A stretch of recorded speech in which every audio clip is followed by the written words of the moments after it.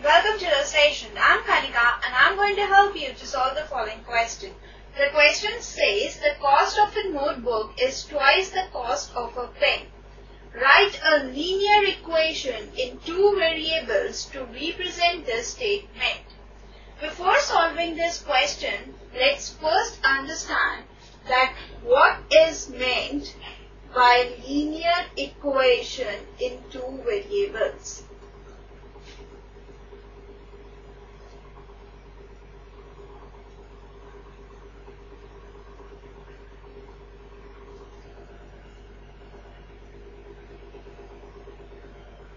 Any equation which can be put in the form ax plus by plus c is equal to 0 where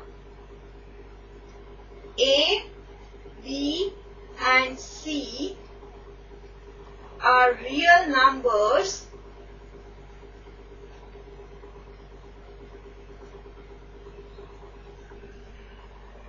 and a and b are not both 0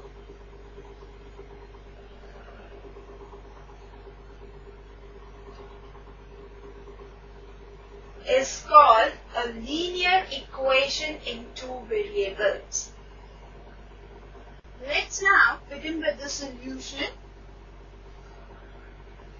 Look at the question again. The question says the cost of a notebook is twice the cost of a pen. Write a linear equation in two variables to represent this statement. Now here, the cost of a notebook and cost of a pen are unknown. So let the cost of the notebook.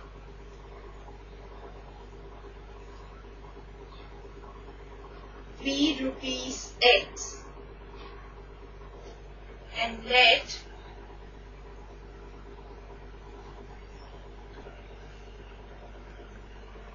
the cost of pen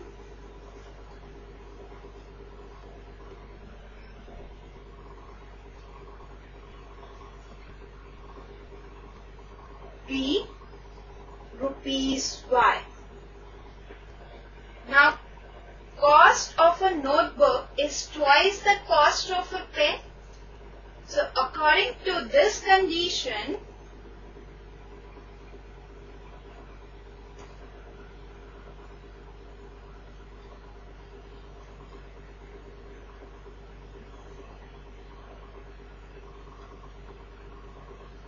x is equal to 2y since the cost of a notebook is twice the cost of a pen. Or we can say that x minus 2y is equal to 0. Clearly, this is a linear equation in two variables. Therefore,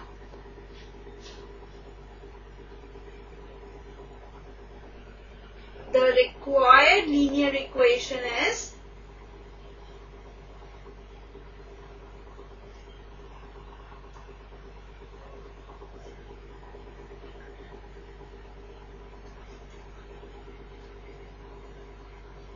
x minus 2y is equal to 0. This is our required answer. So this completes the session. Bye and take care.